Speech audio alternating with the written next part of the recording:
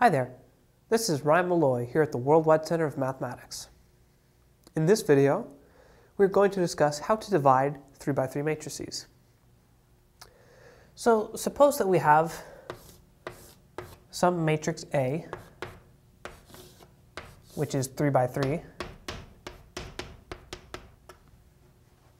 and suppose that we also have another matrix, B, which again is 3 by 3.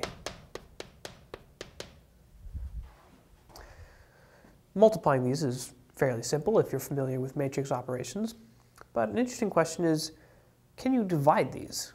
Is there a natural way to come up with a formula for A divided by B? Well, division of matrices, there is no direct way of doing it, but what one can do simply recall that division is the inverse of multiplication. In other words, in order to get A divided by B, we can simply multiply a by the inverse of b. So, in order to do that,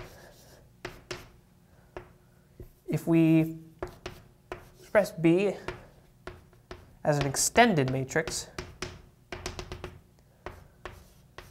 with the identity matrix over here, we can get to the inverse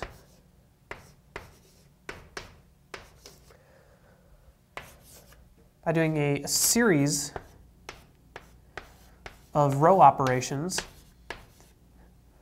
until the identity matrix appears on the left-hand side. And then whatever we have here is B inverse. So once that is determined, this simply becomes A times B inverse which can be done in exactly the same way that one would go about multiplying a times b. And that's all there is to it. My name is Ryan Malloy, and we've just discussed how to divide 3 by 3 matrices.